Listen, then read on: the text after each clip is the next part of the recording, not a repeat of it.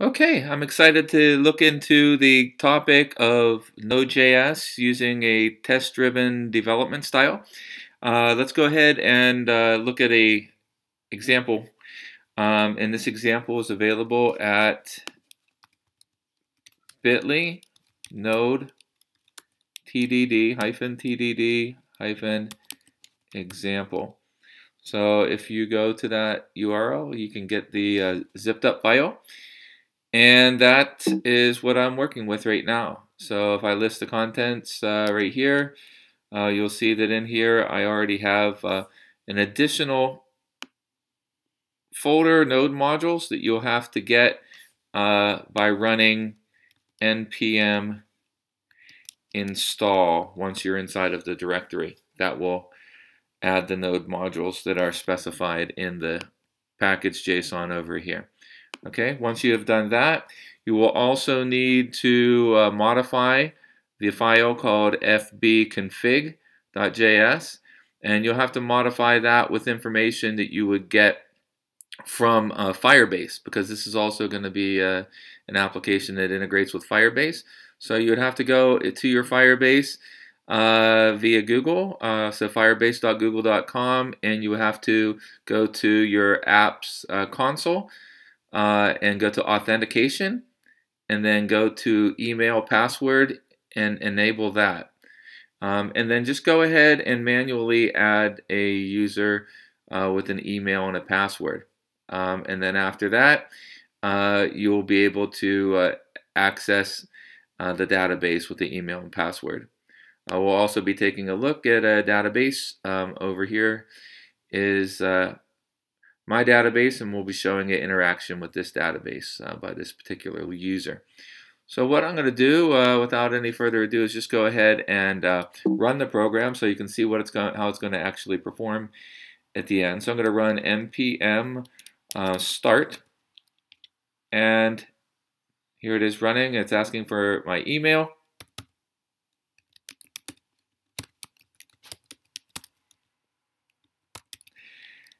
And then it's asking for password.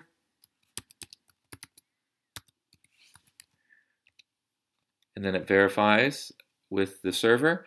Uh, and then it tells me, hey, uh, I noticed that you've played this game before. The number of uh, tries that you had in the previous game is six. And if you look down at the database over here, you can see that indeed uh, there are six uh, tries recorded in the database at the Firebase.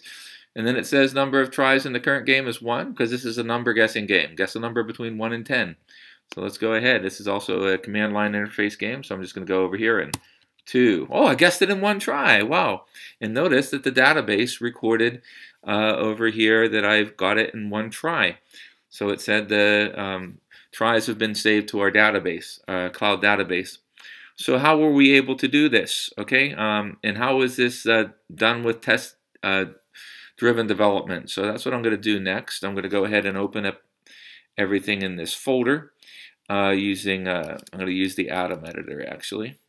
So let me open the Atom editor up here in a moment. Okay, there's the Atom editor opening things up. Let me resize it here for this particular situation. So in the Atom editor, let me just uh, cover a few things about uh, the situation. Uh, let's just identify first, for example, um, the README I put in here. Um, I'm going to actually put the README into uh, reading mode with the Markdown and go over some learning goals. Uh, we're going to learn about test-driven development with Node.js uh, using Mocha and Chai as well.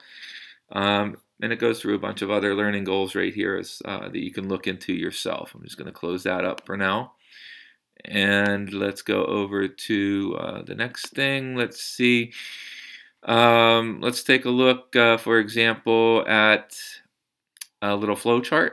Uh, this is a flowchart that was made with a plugin for a flowchart that was made with a simple uh, plugin for Atom. Um, and sorry, the flowchart doesn't exactly fit into this little space. But this gets the basic idea of what's going on with the application. Basically, I start it with an npm start command, uh, and then it attempts to get me logged into uh, Firebase as a user, Uh, if that doesn't go well, then it just throws an error and ends. If it does go well, uh, it tries to get me uh, data about previously played games from the server. If it does get any information, uh, then it sets that value and then does a custom prompt. If not, it goes right to the custom prompt and gets me guessing at numbers. Okay, then I guess at numbers until I get it right. Once I get it right, it records it to the database and ends. If I don't get it right, it loops through the main loop here uh, until I finally get it correct and then it ends. That's the basic idea of the game. Um, this plugin is not bad. It's not great either. It's uh, I think it's called uh, Diagrams uh, plugin, and it's available for the Atom editor. Okay, so there it is. And let's take a look over here at another thing. This is going to be the uh, devlog. So the devlog, I'm also going to open up the devlog in um, Control Shift M to show the markdown for it. So in my devlog, I just kind of chronicled uh, what I did in developing this application. I first of all just made some spaghetti code that got everything working, but it really didn't have the proper design features. It wasn't exporting itself as a module, first of all. Uh, it was in spaghetti code. It wasn't uh, nicely organized in either uh, an object literal or uh, class or something of that nature that would be an appropriate uh, module design pattern. But then in the, my release candidate 2, as I called it over here, um, I started to uh, export as a object literal. Uh, but then I noticed that I used an improper promises pattern. I used an anti-pattern of nesting promises. Um, I didn't have proper error handling capability. Then I went to release candidate 3, uh, where I chained promises in the proper manner and was able to uh, uh, capture the errors properly. At that point, I kind of uh, infused the uh, uh, application with some uh, test conditional log logic so I could run some tests. So uh, let me just run the tests right now so you can see what those look like. Um, well, let's let's look at the actual test file. Over here in the test directory, I have a test file. Okay, and the test file is saying, okay, blah, blah, blah. Okay, this is all um, a set of application unit tests. I want to test the email. I want to test the getting the getting the password. I want to test the main loop.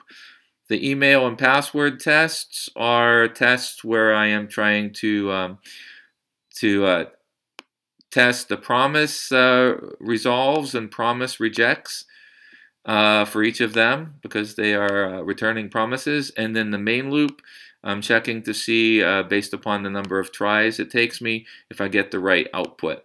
So if I run the tests right now, uh, let me go ahead and run the tests. Um, so it's going to be npm uh, test.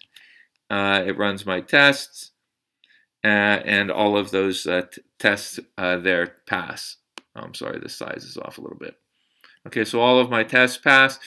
Uh, it's nothing uh, fancy at all. It's just some basic unit tests uh, intended to be part of a, a teaching unit for uh, next year I'm going to use. So um, take a look at this package. Uh, just keep in mind, of course, that you're going to need to uh, adapt the FB config file to your Fire Firebase configuration.